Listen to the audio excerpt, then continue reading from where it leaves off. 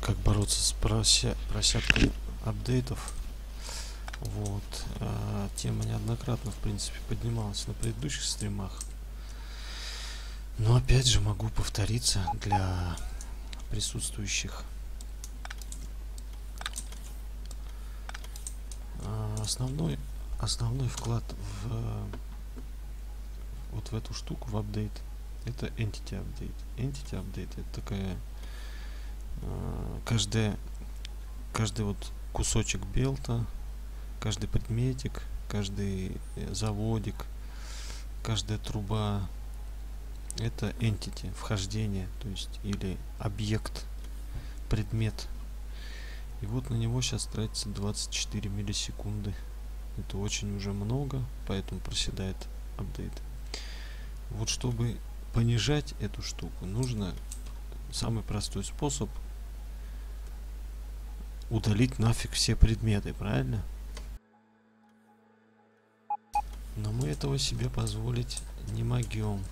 Хотя, конечно, стараться э, стараться минимизировать, скажем так. Э, то есть делать только то, что необходимо, допустим, да, то есть вот убирать лишние вот эти вот штуки, например, да, я вот уже тоже начал убирать лишнее, подбирать вот такие предметы тоже можно, они тоже могут убирать э, кусак из области загрязнения на самом деле имеет смысл практически в плане апдейтов, потому что когда загрязнение попадает на кусачие гнезда где-то далеко-далеко-далеко, да, где нету ничего вашего вообще, никаких построек. Там обычно нету апдейтов на этих чанках. Эти чанки не обрабатываются, они, ну, они как бы, их можно назвать заснувшими. Но когда попадает полюшен на гнезда, этот чанк, где это гнездо, он начинает обрабатываться, и он просыпается, и тоже включается вот, но уже не в, э, не в Entity Update, а тут где-то есть отдельная там, э, отдельная графа, я не хочу, нет, моего генератора, я сейчас не, не буду искать, вот, вот для сравнения, кстати, поезда занимают вот 0,8, а база жрет вот 20, то есть в 20 раз больше. Дальше. Почему я вот опять же все делаю подземными белтами? Потому что если здесь вот будет 10 да, этих вхождений, то для подземного белта вот это, это как два вхождения, вход и выход. Вот, то есть он обсчитывается, соответственно, в 5 раз меньше занимает, поэтому у меня все, все я стараюсь делать подземными белтами как можно больше. Вот, опять же, боты, не знаю, на самом деле,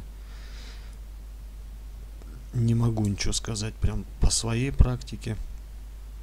Но вроде как говорят, что боты занимают меньше в обсчете времени, чем соответствующая фабрика на белтах. То есть вот такая вот фабрика, типа она больше на самом деле жрет, если бы это все обслуживалось бы ботами. Не знаю. И никак проверить не могу. Если только не взять и все это скопом переделать на ботов и засечь может быть, на одном из стримов займусь этим. Трубы. Опять же, трубы очень много тоже в, в, добавляют вот в эти апдейты per second. И чем меньше труб, тем лучше. Вот.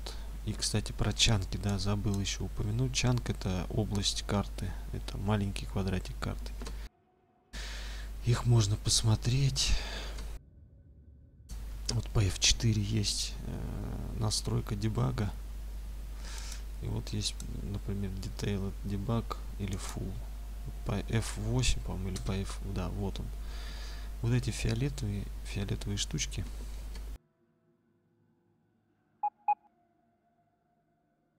Вот, фиолетовые штучки это то, это обсчет, э, собственно, чанков. Вот если бы у меня на старой игре, вот на той, то есть видно, что вот эти карты, они по нулям, вот эти вот квадратики, они по нулям, они не обсчитываются. А вот там, где есть какая-то активность, ну, как правило, это все вокруг игрока. О, это уже пошел вообще детальный, детальная разрисовка дебага.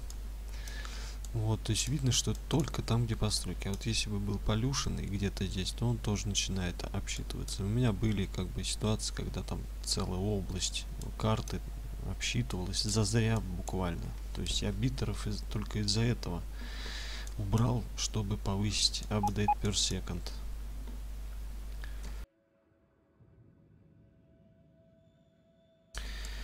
Вот, поэтому предпочтение отдается на таких больших базах это отдается солнечным панелям, потому что они обсчитываются гораздо быстрее, чем э, водяные реакторы и водяные всякие штуки.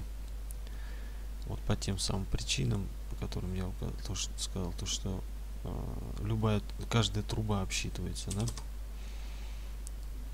Здесь же солнечная панель считается как одно целое. Если они напутаны, что ли.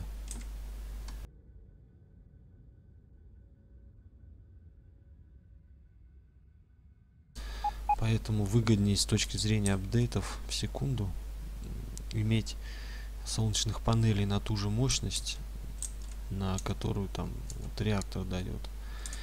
Но в плане места, конечно, они занимают несоизмеримо больше.